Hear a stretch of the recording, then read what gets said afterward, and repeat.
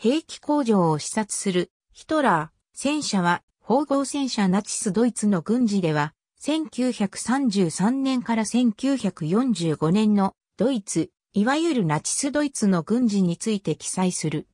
第一次世界大戦での敗北の結果、ベルサイユ条約によって、ドイツには非常に厳しい軍備制限が課せられた。バイマル共和国軍は連合国の監視の目をかいくぐって軍備を強化していたが、1933年のナチ党の権力掌握によって公然化した。ドイツは1934年に世界軍縮会議から脱退し、1935年3月16日には徴兵制の施行を宣言した。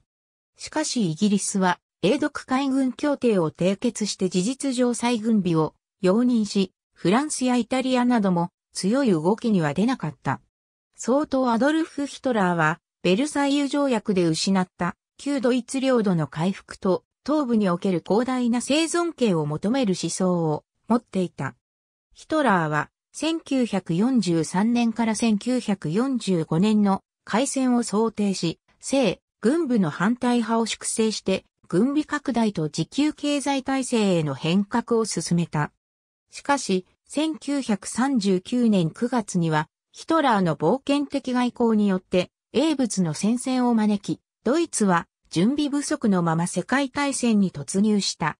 第二次世界大戦の冒頭では、電撃戦戦術や装甲戦力の運用によって、ドイツ軍は快進撃を見せ、イタリア王国などの数軸国と共に、ヨーロッパの大半を支配下に置くことに成功した。しかしバトルオブブリテンにおいては、イギリス空軍を制圧できず、海軍力も限定的であったため、イギリスを屈服させることはできなかった。ヒトラーは戦局の打開と東方生存権獲得のため、ソビエト連邦への侵攻を開始した。しかし、ロシアの機構と赤軍の反、また西側連合国は、北アフリカとフランス、そしてイタリア半島において逆襲を開始した。資源、人的資源が枯渇する中でドイツは V1 飛行爆弾等の新兵器や国民突撃隊編成などで抵抗するが、1945年5月に首都ベルリンは陥落、ドイツ軍は降伏に追い込まれた。第一次世界大戦で敗北したドイツ軍は陸軍10万人、徴兵制禁止など規模や装備においても著しく制限された。この中でハンス・フォンゼークとはプロイセン王国以来の伝統を持つ少数のエリート軍が予備兵力としての国民軍もしくは民兵を指揮する防衛体制を構想していた。この思想のもとで、バイマル共和国軍は強固な団結を持つ国家内国家としての特別な地位を獲得した。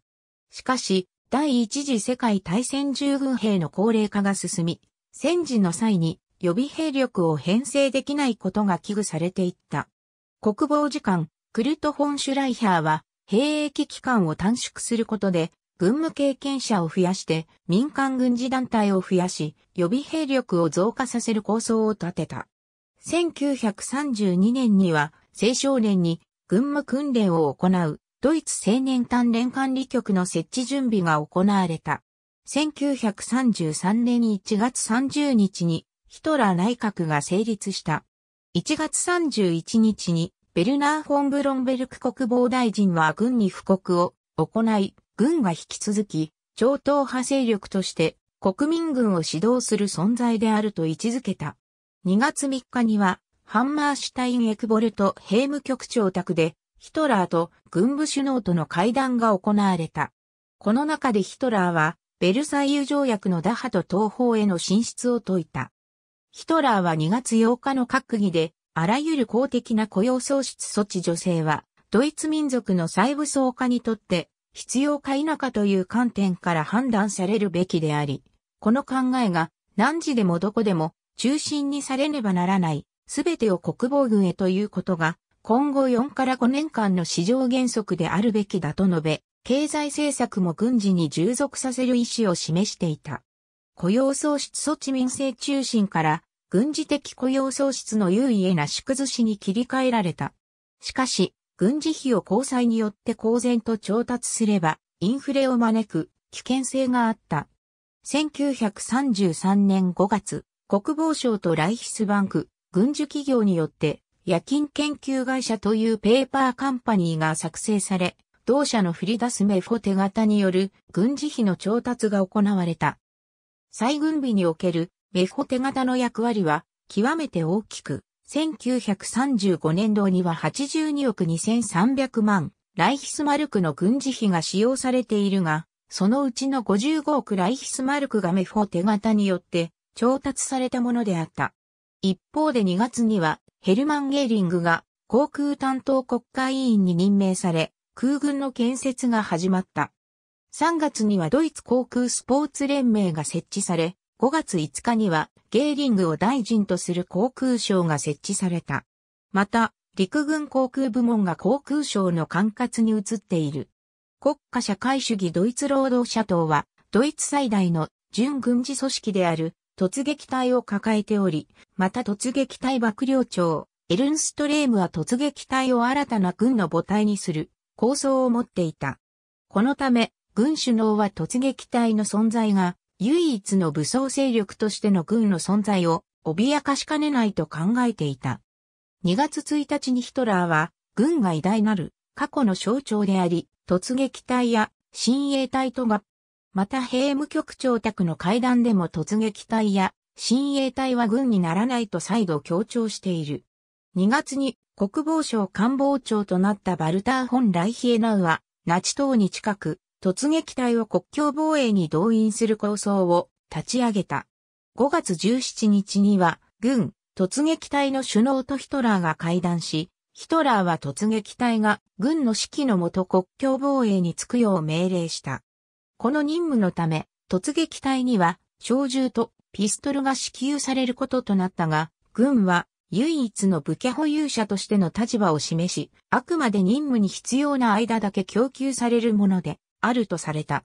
7月1日のバート・ライヘンハルの突撃隊、親衛隊指導者会議でこの方針は、正式に伝達され、6月前に結成された国境防衛組織に突撃隊と鉄兜団、前線兵士同盟が参加することとなった。ヒトラーは、SA は決して軍にとって変わろうとしたり、軍と競争してはならないと言明している。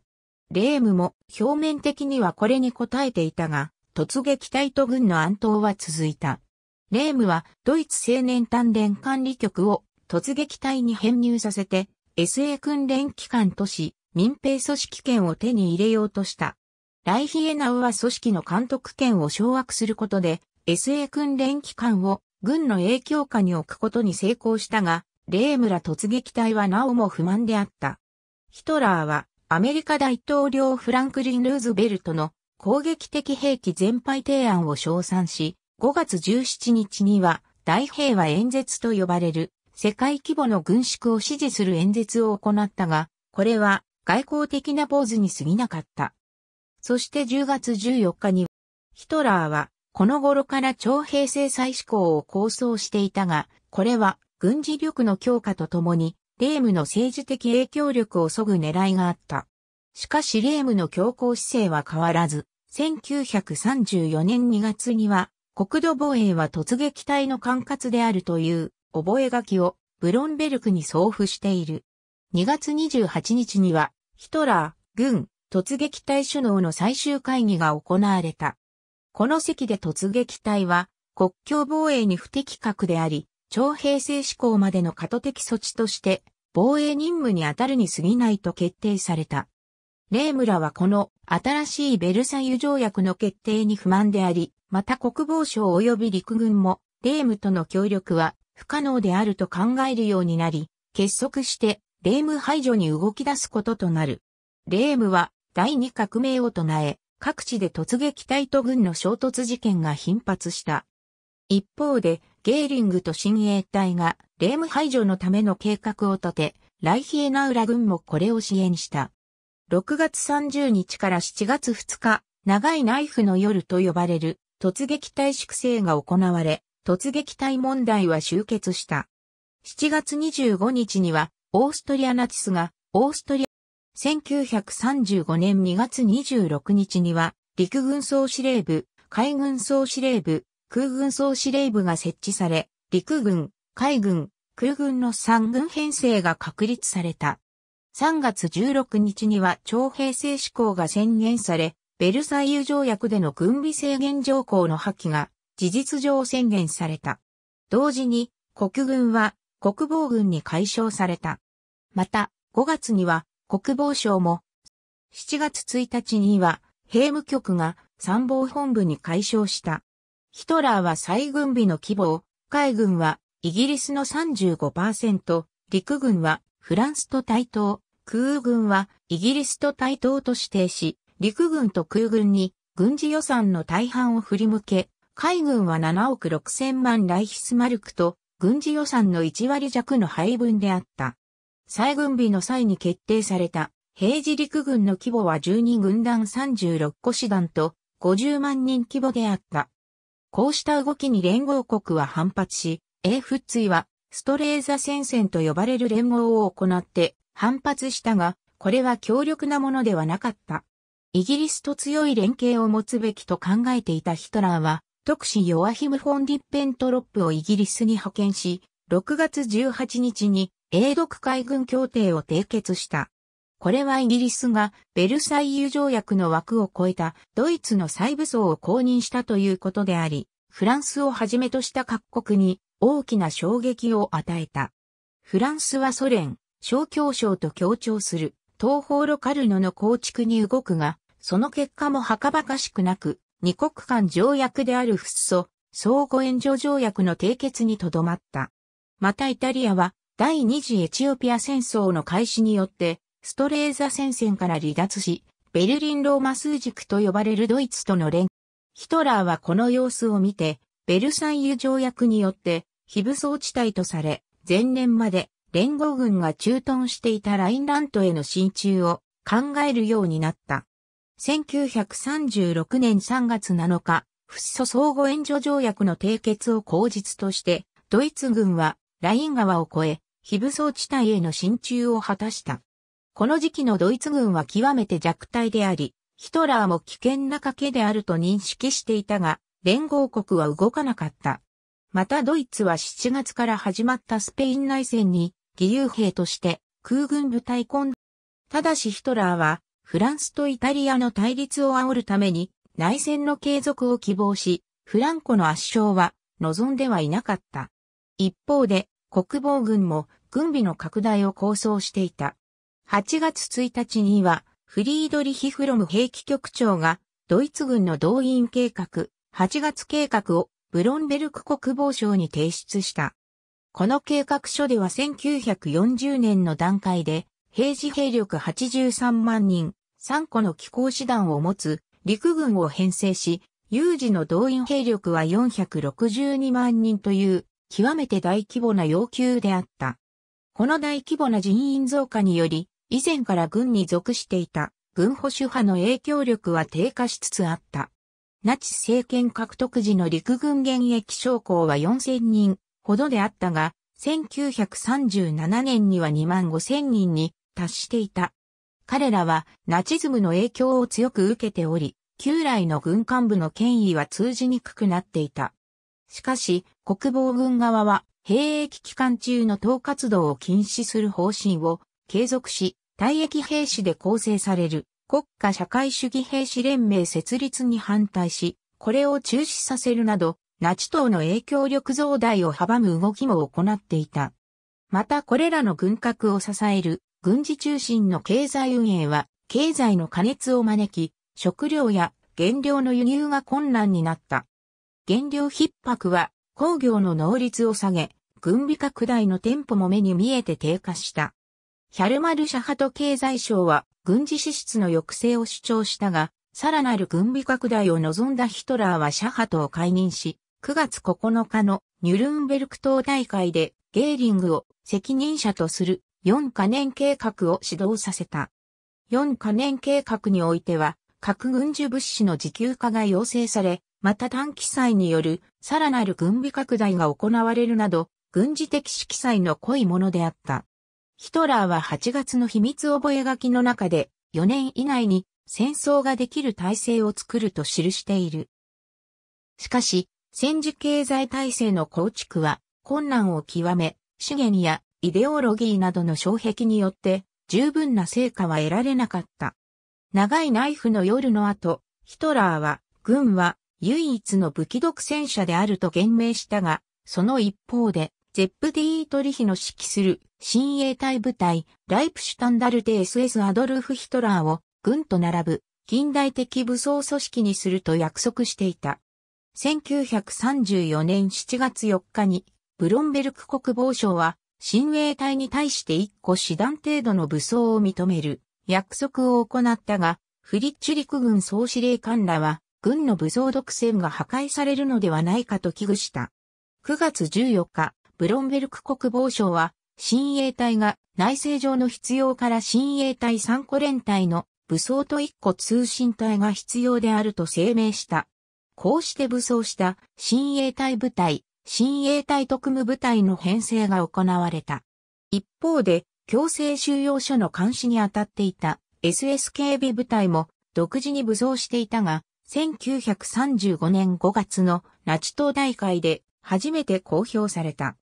軍は新たな親衛隊の武装化に反発し、特務部隊を軍の指揮下に置こうとしたが失敗した。一方で、親衛隊全国指導者、ハインリヒ・ヒムラーは1936年4月に、親衛隊特別国境警備部隊と、親衛隊補助関税官組織を合併し、事実上の第二軍隊を建設しようと目論んだが、軍の反発によって1937年10月に解散に追い込まれた。4カ年計画の進展によって、ドイツの原料供給はさらに逼迫し、海軍が心臓感染の政策を企業に求めても、原料逼迫のために拒絶される事例も起こるほどであった。しかも4カ年計画責任者ゲーリングは、自ら総司令官を務める空軍に、重点的な軍需物資の配分を行った。これを不満とする陸軍総司令官フリッチュと、海軍総司令官エーリヒレーダー、ブロンベルク戦争省は、ヒトラーの調停を求めた。1937年11月5日、総統官邸において、核軍司令官とブロンベルク、そして外相コンスタンティン・フォン・ノイラーと、そしてヒトラーが出席した秘密会議が行われた。ヒトラーはこの席でチェコスロバキアもしくはオーストリア獲得のため戦争を起こすと述べた。ヒトラーが想定していた開戦時期は1943年から1945年にかけての間であり、この時期を過ぎれば、ドイツの食料備蓄が逼迫するなどの理由で次第に、ドイツが不利になり、行動に出る以外の選択肢は残されていないというものであった。また後期が訪れればそれ以前の海戦もあり得るとしていたブロンベルク戦争省とフリッチュ陸軍総司令官は英物の介入、チェコスロバキア国境要塞の堅固さを挙げて戦争が困難であるという認識を示した。1938年1月、ブロンベルクとフリッチュに対するスキャンダルが相次いで発生し、二人は辞任を余儀なくされた。この事件は、ヒトラー自身は事前に承知していなかったが、ヒトラーは、この木を捉えて、軍部の粛清を開始した。ブロンベルクの進言に従って戦争省を廃止し、国防軍最高司令部を新設した。最高司令部の総長には、ビルヘルム・カイテルが就任したが、彼は、ヒトラーの追従者に過ぎなかった。ルートビヒベック陸軍参謀総長など多くの将軍も更迭、辞職し、国防軍の抵抗力は大きく削減された。外交面でもノイラーと外相らが更迭され、リッペントロップが新たな外相となって新たな同盟政策を取ることになった。さらに、治安権力を握った親衛隊の影響力増大もあり、国防軍はその武装化に反対することができなくなりつつあった。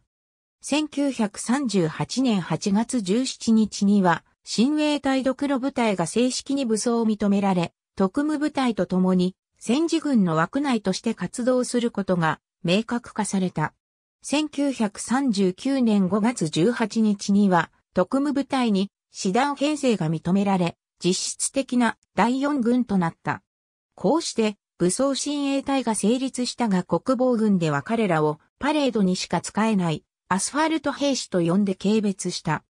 また、武装親衛隊の兵員獲得の動きは、徴兵にも支障をきたし、しばしば構想が発生した。ルートビヒベックなど上層部に残っていた反ナチ派も、ミュンヘン会談の成功後は姿を消し、第二次世界大戦開戦直前の段階で、国防軍首脳は、ヒトラーの政策にほとんど完全に同意していた。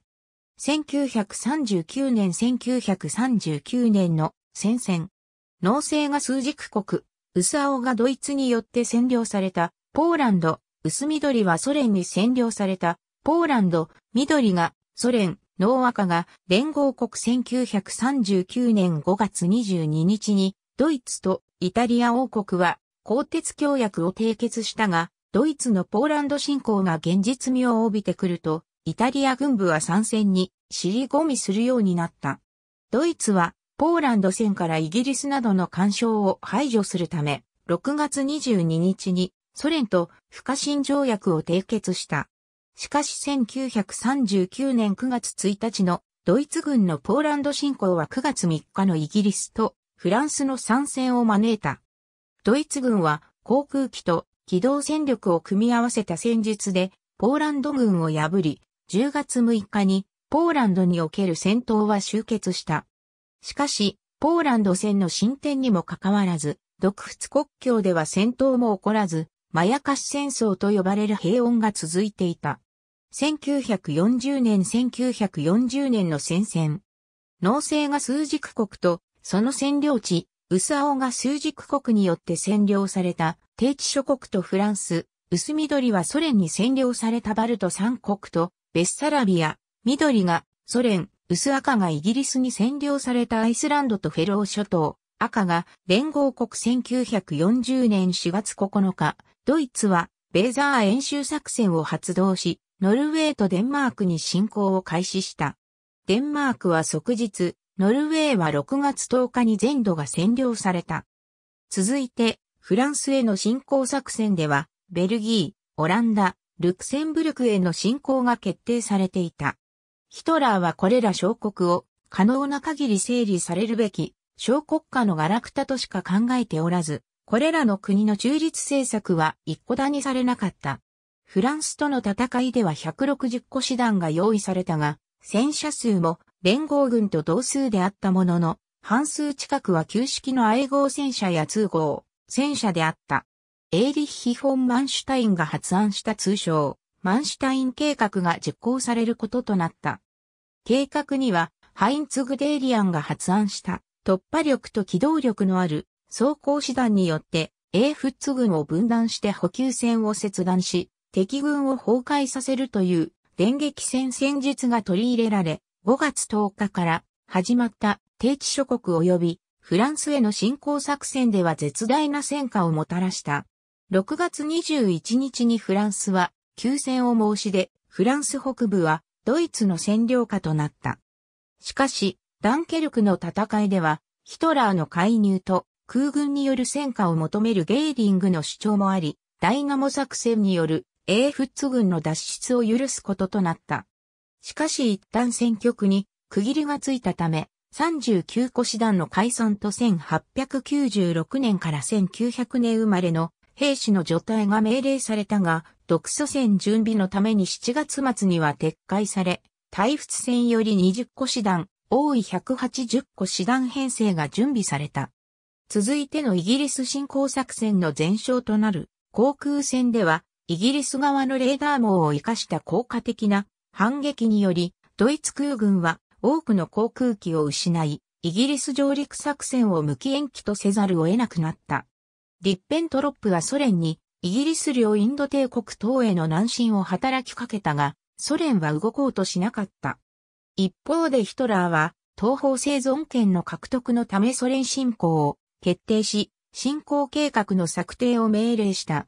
このため、ウィーン裁定によって、ハンガリー王国やルーマニア王国、ブルガリア王国に対する影響力を強めた。独ソ不可侵条約以降関係が冷却化していた日本に再度接近し、6月に参戦していたイタリアと共に日独位三国同盟を結成した。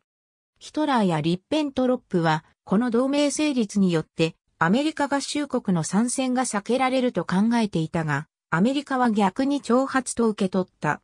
さらにドイツ側は、ソ連攻撃の意図を明確に日本には伝えておらず、日本側も対米戦線について事前に明確に伝達しなかったなど、両国の意思疎通はほとんどできていなかった。1941年1941年6月の戦線、農政が数軸国とその占領地、青が1940年に数軸国に参加したハンガリー、ルーマニア、ブルガリア。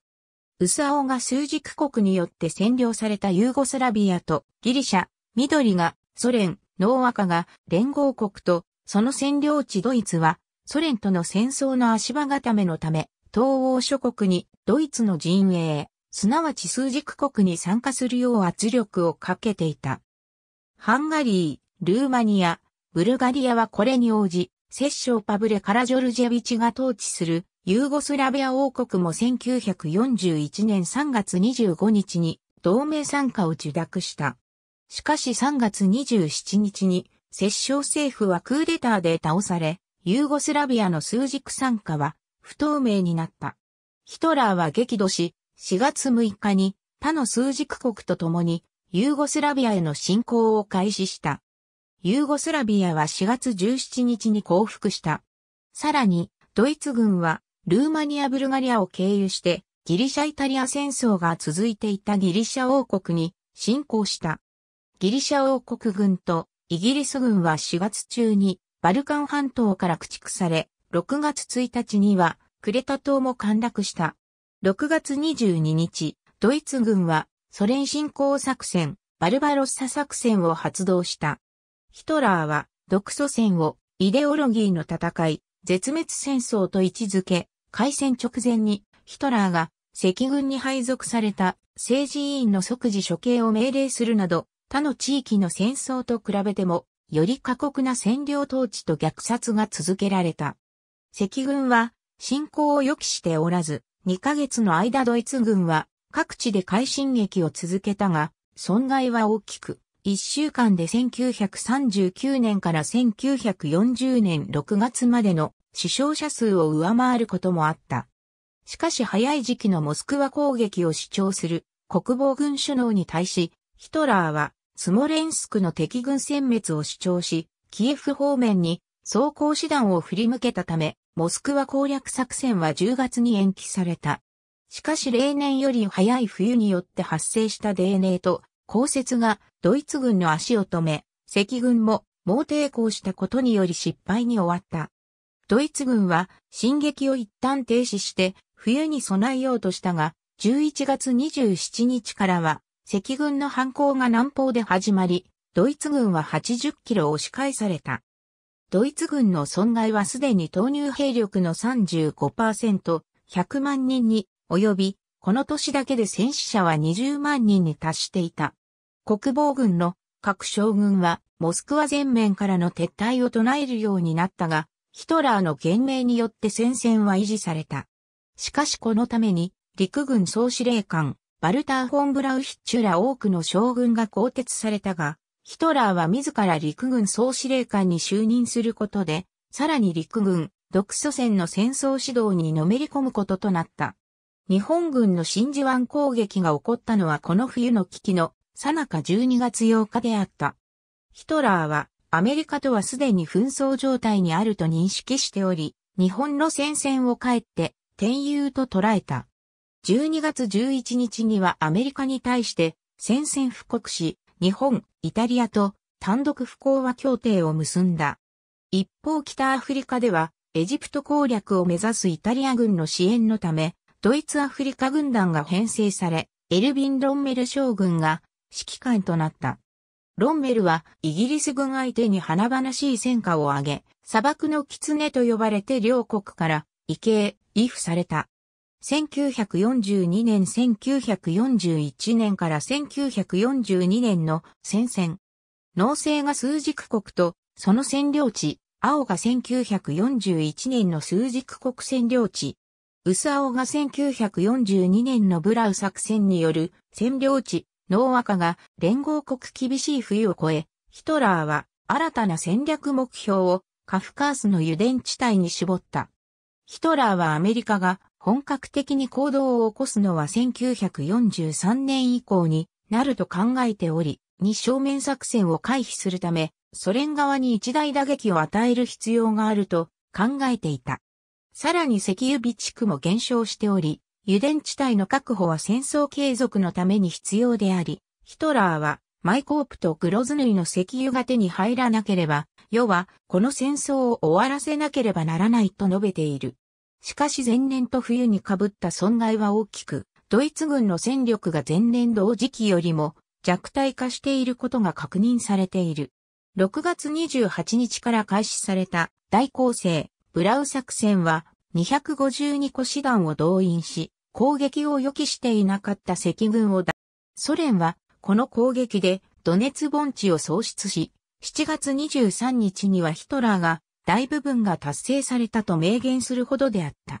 しかし7月28日にはソ連最高指導者、ヨシフ・スターリンが指示命令227号命令を発し、赤軍の頑強な抵抗が始まった。さらに、カフカースの劣悪な自然環境は機械化部隊の進撃を阻み、ドイツの進軍速度は次第に低下していった。英軍集団司令官、ビルヘルム・リストは進撃は不可能であると進言したため、9月10日に解任されたが、ヒトラーは自ら英軍集団の司令官職を代行し、しばらく国家元首が前線司令官を兼ねるという異例の事態が発生した。9月24日には開戦以来の陸軍参謀総長、フランツ・ハルダーが更迭され、クルト・ザイツラーが公認となった。しかし、カフカース構成は結局頓挫し、油田地帯も確保できないまま再び厳しい冬を迎えることとなった。一方で B 軍集団は8月後半からはボルガ川東岸の用地スターリングラードの包囲を開始した。しかし、ソ連軍の激しい抵抗が前途を阻み、壮烈な市街戦が繰り広げられた。スターリングラード占領に固執したヒトラーによって、赤軍の殲滅という戦略目標は達成できず、11月8日からは赤軍の大包囲が開始された。このため、第6軍は市内に孤立することとなり、厳しい包囲戦に耐えることとなった。空軍は大規模な空輸を行って第6軍を支援しようとしたが、かえって多くの航空機とパイロットを失い、大きく力を減退させることとなった。順調であった北アフリカ戦線も7月のエルアラメインの戦い以降主勢に回ることになり、11月の統治作戦によってアルジェリアが連合国の手に落ちた。1943年1944年5月時点の戦線。農政が数軸国とその占領地、薄赤が1944年中のソ連による奪回地、農赤が連合国とその占領地。クロフト戦は大西洋の壁設置地1月31日、第6軍司令官フリードリヒ・パウルスが降伏し、第6軍の兵員も相次いで降伏した。この敗北は独ソ戦、さらにドイツ軍自体の転換点と評されている。さらに北アフリカでもカセリーヌ峠の戦いの敗北によって数軸軍、また1月30日には前年12月のバレンツ海海戦で失敗したことによってレーダーが海軍総司令官を辞任し、U ボート艦隊総司令官のカール・デーニッツ提督が公認の海軍総司令官に任命された。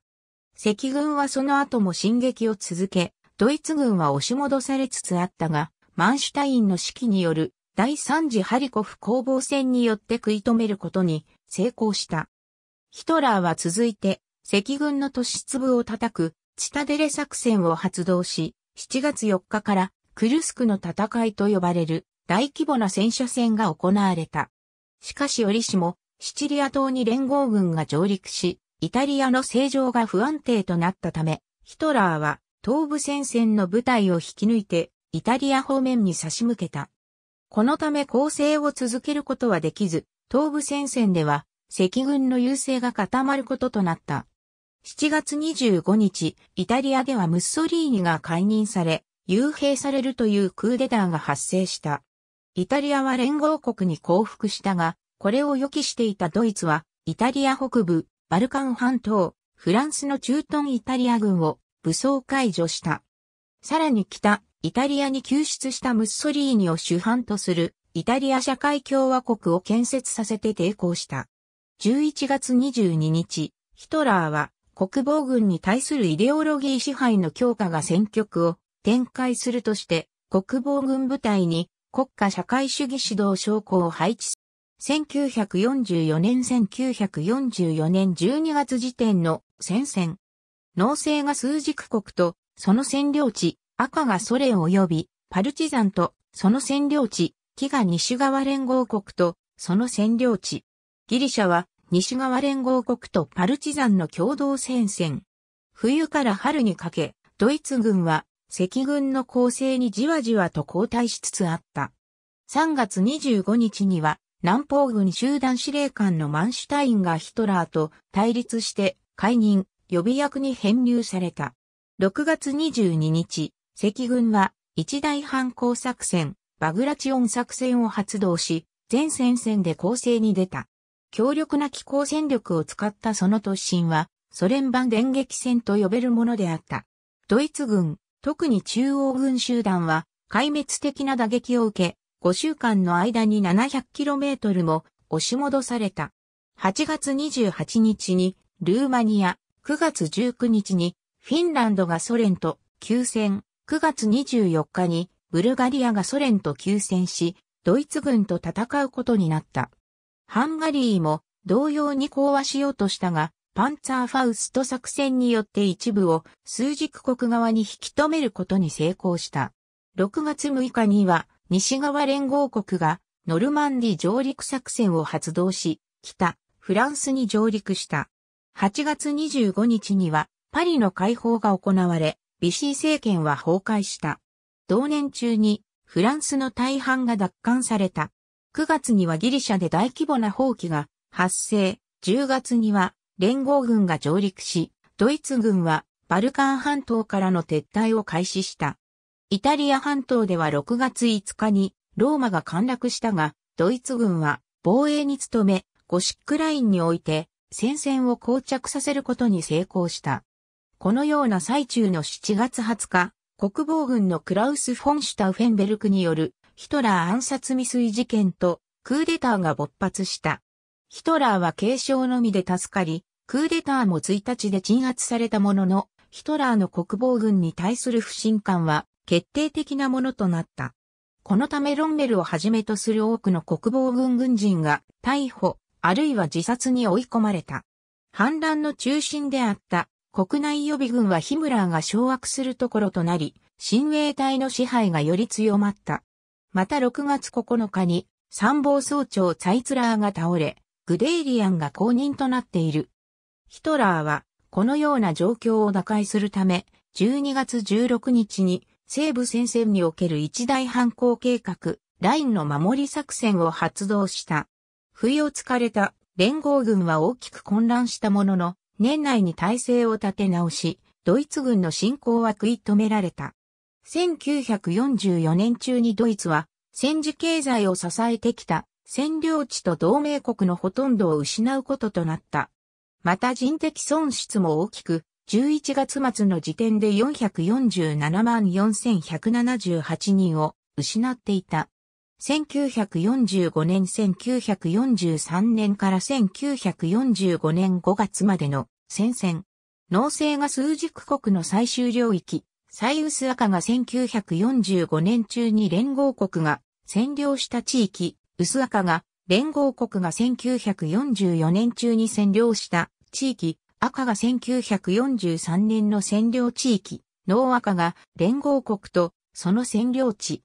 1月12日には赤軍がビスワオーデル攻勢を開始し、東部ドイツ領土の大半が占領された。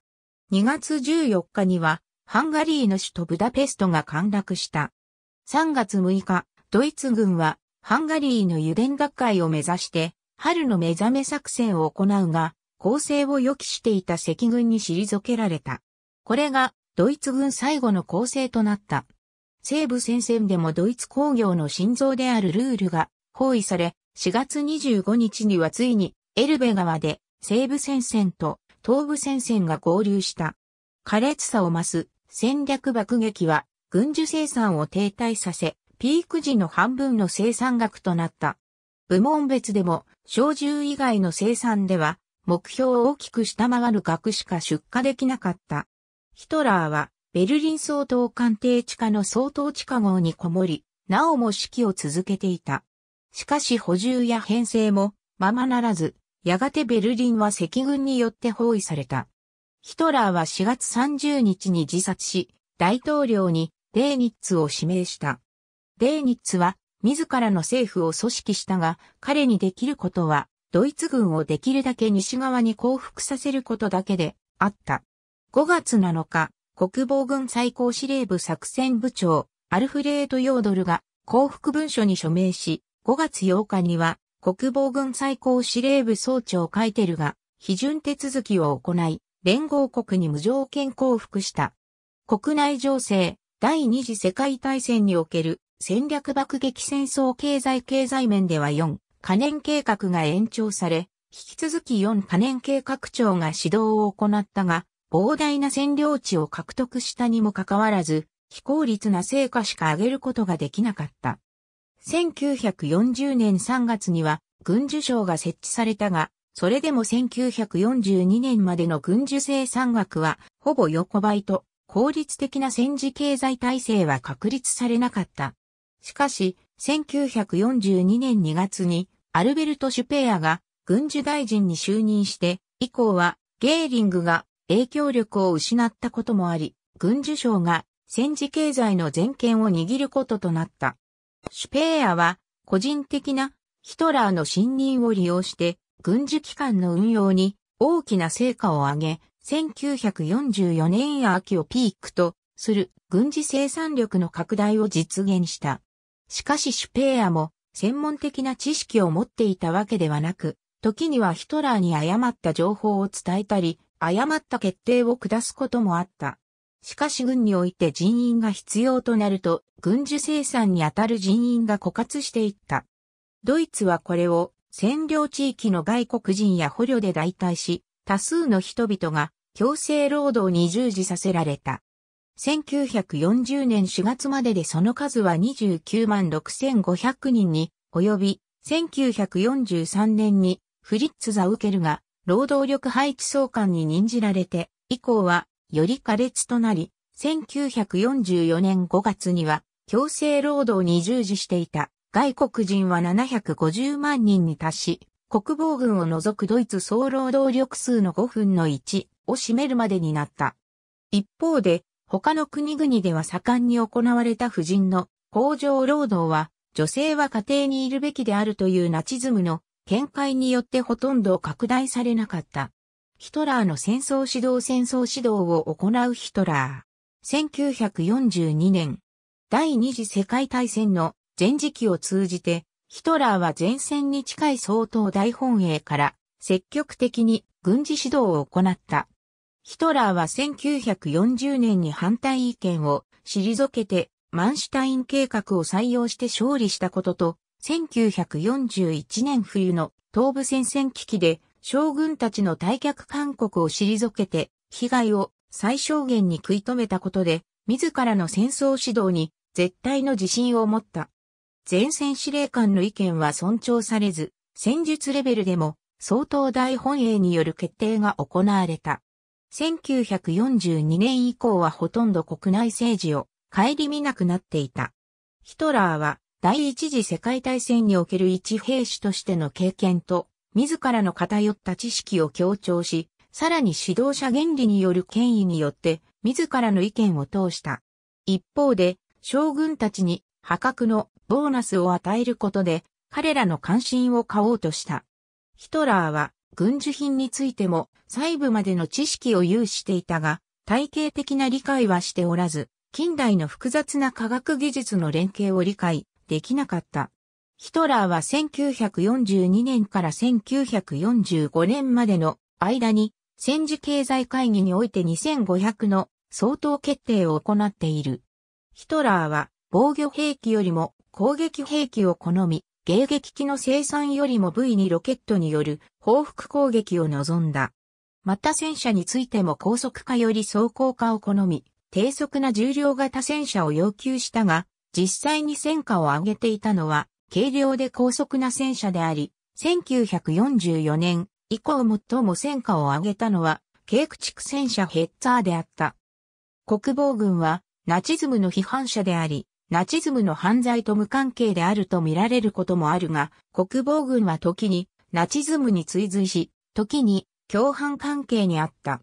ヒトラーとナチ党の主導するベルサイユ条約違反の再軍備には反対しておらず、1933年6月の段階で将来に空軍、機構軍、予備軍の設置を行うことは首脳の間での合意事項となっていた。ヒトラ政権下で軍が作成した軍備計画でも大幅な拡大が提唱されていた。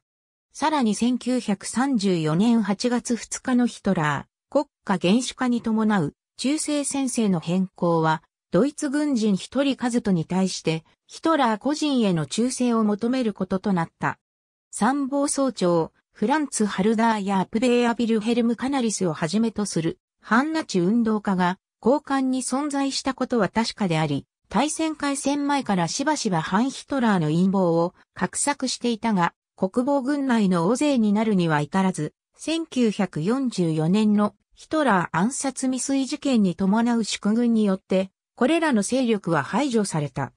多くの国防軍軍人の態度は、プロイセン軍人は反逆しないというマンシュタインの言葉に代表される中世原理がある字になっており、時には親衛隊同様戦争犯罪に手を染めることもあった。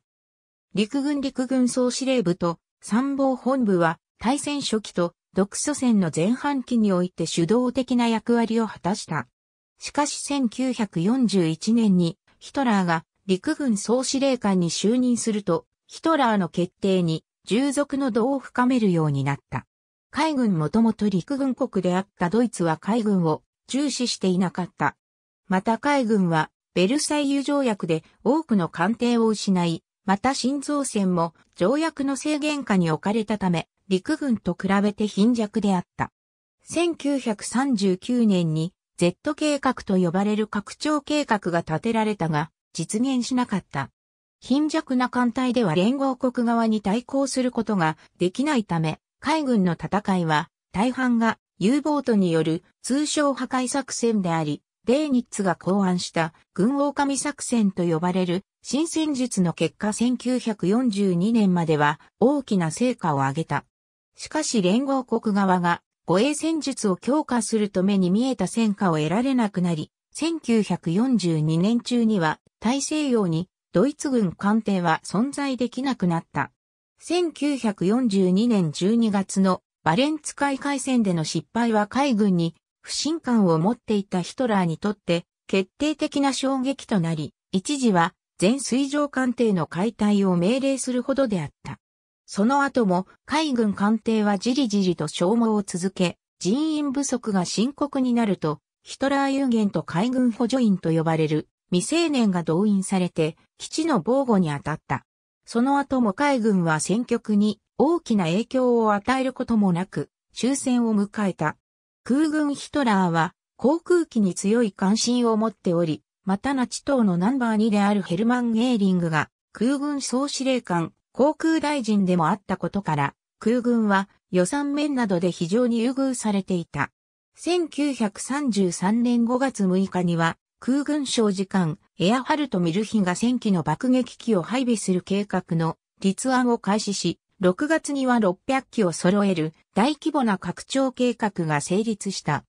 スペイン内戦に派遣されたコンドル軍団は、急行化爆撃やロッテ戦術を生み出す礎となり、対戦初期には絶大な威力を発揮した。しかし、本土防空は、降射法に変調し、連合軍の戦略爆撃によって大きな被害を受けた。以降迎撃機による迎撃も手段として取られるようになったが、相次ぐ戦闘によって、パイロットや装備をすり減らしていった。また急降下爆撃の変調も大きな損害を招いたが、大戦前からの大型爆撃機開発は失敗していた。スターリングラードの戦いの空輸作戦にも失敗し、これらはゲーリングの権力失墜と空軍の影響力低下を招いた。人員不足が深刻になった1942年9月には空軍兵士12万人を陸軍に移管する総統指令が出された。ゲーリングはこれに抵抗し、彼らを空軍所属の野戦師団や装甲師団を編成して陸軍と共に戦わせた。その後連達したパイロットや機材の損耗を防ぐことはできなかった。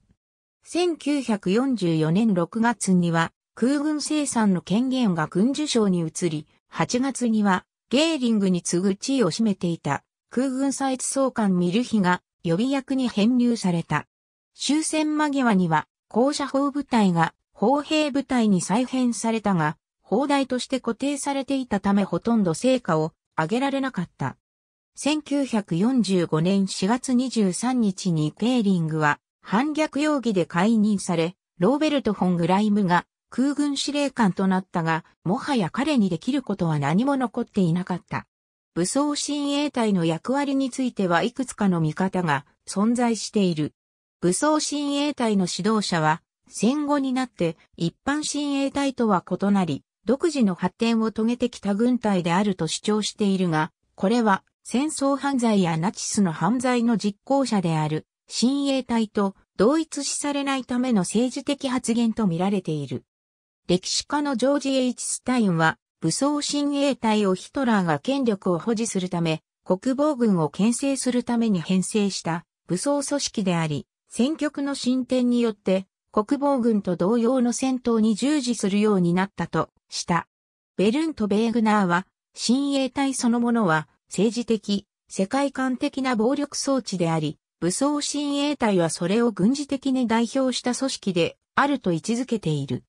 開戦当初、国防軍に比べて武装親衛隊の組織は非常に小さいものであったが、ポーランド侵攻の段階から国防軍の各部隊に配属され、共に出征した。ヒムラーは国防軍の平均損耗率2.9%に対して武装親衛隊の損耗率が8%と高いことを示して、彼らが犠牲的精神と決意に富んでいることを示そうとした。国防軍側ではこの損害率の高さは武装親衛隊将校と隊員の未熟さにあるとしていたが、親衛隊側は国防軍側によって彼らが頻繁に過酷な任務を与えられたためと主張、武装親衛隊部隊を独立した師団に編成するよう要求した。ヒトラーは親衛隊側の意見を認め、3個師団と1、連隊までの規模の武装親衛隊を承認し、1939年11月末までには3個、師団、14連隊と2つの親衛隊士官学校が創設された。さらに親衛隊の隊員ではない警察官を主体とした警察師団の編成も開始され、後に武装親衛隊に編入された。親衛隊は多くの兵員を確保する必要が生まれたが、それは徴兵による兵員を必要とする国防軍との間で激しい構想を生み出した。国防軍最高司令部は兵役最適年齢の1909年以降の武装親衛隊隊員募集は終了したと通告し、ヒトラーも武装親衛隊規模は国防軍規模の10%から5%を超えないようにするという決定を下した。独ソ戦開始以降は、多くの国外義勇兵を加えて規模を拡大していたが、それでも国防軍より損耗の割合は多かった。1942年3月時点で、開戦時の11万5841人のうち5万4115人の損害を出し、特に SS 師団来費は67.8%の損害を出し、将校、下士官の15%が戦死していた。1943年末の段階では延べ15万7971人の損害を出した。また、国防軍への不信を高めたヒトラーは、激戦地に武装親衛隊師団を火消し役として送ることが多くなり、そのため、損耗率が非常に高くなった。終戦頃には、武装親衛隊の人数は2倍以上となったが、38個師団のうち24個師団は東方の諸民族で形成されていた。また、大半の部隊の戦闘力は低く、1943年以前に成立した精鋭部隊には及ばなかった。また独ソ戦では、親衛隊隊員である保安警察と SD で構成されるアインザッツグルッペンと呼ばれる部隊が動員された。この部隊はユダヤ人などの適正分子を殺害する特別行動隊であり、ホロコーストの一環を担っていた。SD は本来ナチ党内の情報部であったが、国防軍情報部が解体された1944年2月以降は、SD がドイツの諜報任務を一手に握ることとなった。第 12SS 装甲師団、ヒトラーユーゲントに配属された縫合戦車。1944年1月、陸軍は通信技術を重視し、戦車1台1台に通信機を設置することで連携力を高め、電撃戦の実行を可能とした。一方で、ドイツ軍のエニグマ暗号機を用いた通信は、1940年の段階でイギリスの諜報グループに解読され始めていた。戦争後半期には大半の暗号が解読されるようになったが、ドイツ側はその事実を察知することもできなかった。ソ連におけるドイツ占領地域や赤軍捕虜には多くの飢餓による死者が発生した。ベラルーシだけで160万人から170万人が飢餓で死亡したが、そのうちの50万人はユダヤ人で70万人は捕虜であった。当時ドイツとその占領地域はインフラと輸入の途絶で食料事情が悪化していたが、これは国防軍最高司令部が下した捕虜を飢餓レベルに保つという決定が最大の理由とされている。これらの扱いは西側とは大きく異なるものであった。獲得した赤軍捕虜のうち6割が大量殺戮などの理由で死亡している。戦争が後期になると労働力としての捕虜刺激が行われたが、環境は相変わらず劣悪であり、多くの死者を出した。一方で、アンドレイ・ウラソフら反共派の捕虜たちは、ボリシェビキ政府に対する攻撃のため、自らドイツ側に立って戦うことを訴えるようになった。ヒトラー暗殺未遂事件以降、彼らの管轄が国内軍司令官となったヒムラーに移ると、彼らを利用することが考慮し始められた。1944年11月14日、ウラソフラはプラハでロシア諸民族解放委員会の発足を発表し、参個師団からなるロシア解放軍が設立された。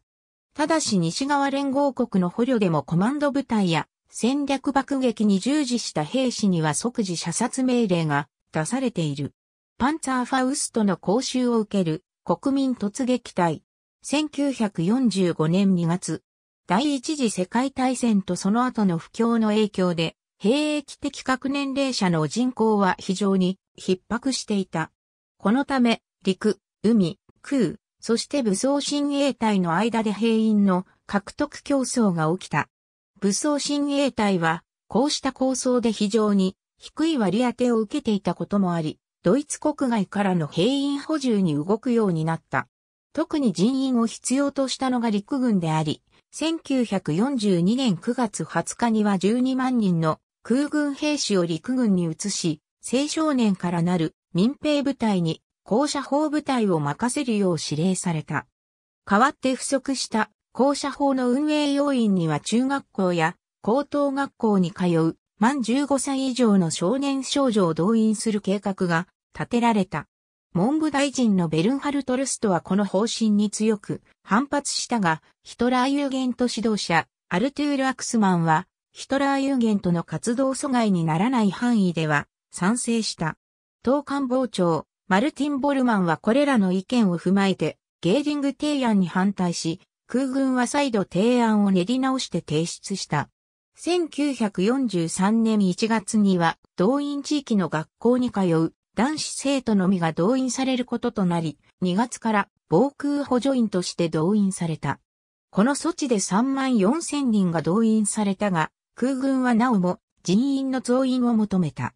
文部省はこれ以上生徒の動員は不可能であると拒絶し、代わって職についている青少年4万6千人が動員されることとなった。1944年9月には16歳以上60歳までの国民を国民突撃隊として動員する命令が下された。11月には1928年生まれの空軍補助員を解任して国民突撃隊として動員し、東部外国人や国防軍などで不適格と判定された人材を防空補助員に代替する方針が決定されたが、すでに国内は混乱しており、どの程度実行されたかは定かではない。親衛隊独路師団はすでに1938年にドイツ国外の民族ドイツ人を獲得しており、開戦以前の段階でヒムラーは非ドイツのゲルマン人によって部隊を編成する構想を持っていた。1940年からは占領地となったノルウェー、デンマーク、ベルギー、オランダ、フランスからの武装親衛隊隊員帳簿が開始され、親衛隊本部、ゴットロープベルガーは、その対象を新大陸にまで広げる構想を持っていた。ヒムラーはドイツ民族性強化国会委員に任じられたことによって民族ドイツ人に対する指導権を獲得した。このため、武装親衛隊の隊員補充先はこの民族、ドイツ人が中心となった。しかし長母の対象は占領地だけでなく、イタリア以外の東欧同盟国にも及び、現地政府との摩擦を生じさせた。1941年4月には、武装親衛隊に属した志願兵は、親衛隊には所属しないという命令が下されている。6月からは、外国人志願兵の募集が公式に開始された。1941年6月、国防軍と親衛隊は、外国人志願兵は志願した国別に部隊に編成すること、帰化を求めないこと、チェコ人、亡命ロシア人の参加を認めないことを決定した。また、現地の民族組織や政党の組織がそのまま参加することを認めず、ドイツ側によって再編成された。ベルガーはウクライナ人の編入を求めたが、ヒムラーはこの時点では拒否していた。独ソ戦以前には、北欧、西欧の義勇兵は2400人、開始以降の1941年年末には1万2000人であった。彼らの多くはナチズム的な思想を抱いていたわけではなく、自国がドイツに敗北したことで、既存の西欧的思想に幻滅していたということが指摘されている。戦争が激化すると新規帳簿者がろくな訓練も受けずに補充兵として前線に配属されるケースが増加し、事情を知らされた本国では怒りを募らせた。またドイツ側の外国人差別の言動も彼らの怒りを招いた。1942年2月17日には18歳になれば、両親の同意がなくても志願できるという極秘相当指令が発令され、志願は事実上強制的なものとなった。さらに親衛隊は16歳以上の青少年が勤労奉仕を終えた後に志願できるという協定を国家労働法師団指導者コンスタンティン・ヒールルと締結した。これによりヒトラーユーゲントに属する青少年からの帳簿も開始した。1942年に武装親衛隊は日個師団の増設を行っているが、この際に帳簿された1925年生まれの新兵はほとんど強制的に帳簿された人々であった。この強制的な帳簿は地元のみならず、党内からも強い反発を受けたが、ヒトラーの支持を確信する親衛隊側は受け入れなかった。さらに戦争が激烈化すると親衛隊のイデオロギーである人種原則に肯定することもできなくなり、1943年に編成された第 13SS 武装山岳師団は、ボスニア・ヘルツェゴビナのイスラム教徒で構成されていた。また、ソ連領内でのヒロシア人志願兵は陸軍の東方部隊に編成された。前述のロシア解放軍と合わせ、ドイツのために戦ったロシア諸民族は96万6800人に達する。また、国防軍情報部はインド攻撃のためにインド人コマンド部隊の編成を行っている。1940年にはインド独立運動家のスバス、チャンドラボースがインド兵捕虜インド義勇兵部隊に参加させている。1942年には拡大されて、第950連隊として陸軍に編入されたが、彼らはインド独立以外で戦うつもりはなく、移動命令に従わないこともあった。950連隊は、ノルマンディ上陸作戦の後に武器を失って、ベルリンに逃げ延びた後に武装親衛隊に移管されたが、すでに彼らに渡す武器はなく、そのまま終戦を迎えた。戦後、生き残った彼らの多くは、本国で厳しい批判と処分にさらされることになる。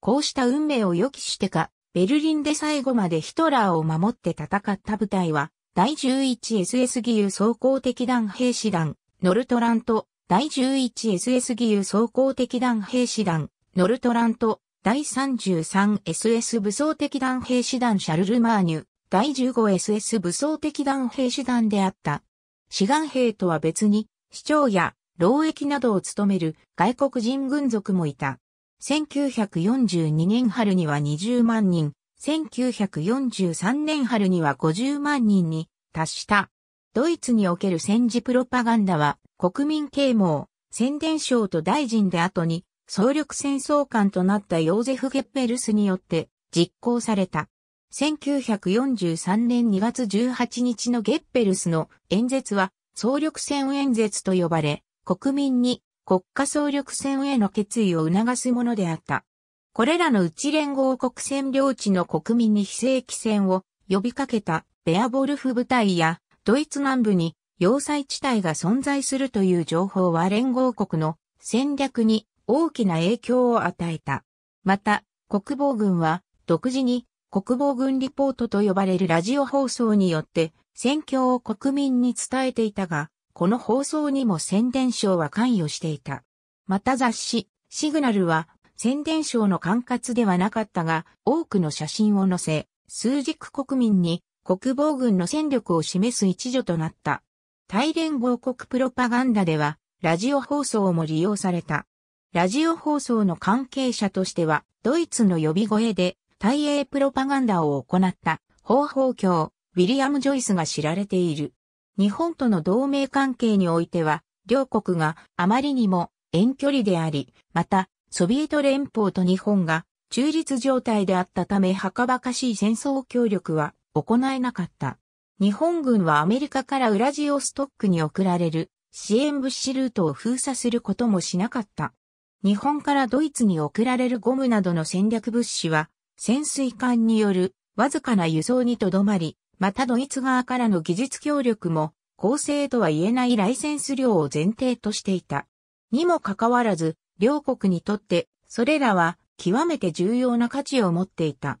1944年5月、ヒトラーは日本に対して、あらゆる特許や青写真を戦時中は無償で提供するように命令した。この契約は戦後に支払いが行われることもなく、現在に至っている。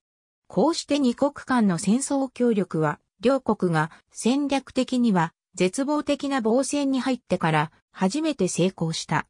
ハンガリー、ルーマニア、ブルガリアといった国々は対ユーゴスラビア、対ソ連戦のために軍を派遣した。これらの軍は独立した指揮系統を持っていたが、同盟国が戦略レベルの方針に介入することはできず、ドイツが決定した方針に従うことしかできなかった。ウクライナやインドなど連合国に支配されている地域の現地勢力を利用する構想は、ドイツの一部には存在しており、時にはヒトラーやゲッペルスが口にすることもあった。